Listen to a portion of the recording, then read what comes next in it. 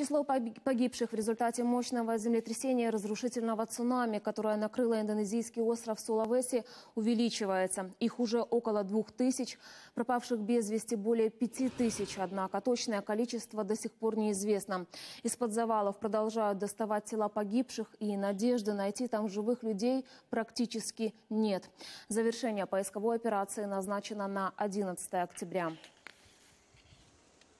Прикладывает немало усилий для поиска и спасения пострадавших. Однако момент уже упущен. Если бы они начали раньше разбирать все эти руины, спасти удалось бы гораздо больше людей. 29 сентября, когда все это только что произошло, я слышал, как люди плачут и как они кричат под обломками собственных домов. Но тогда им не смогли помочь, а спустя 10 дней найти кого-то из них живыми маловероятно.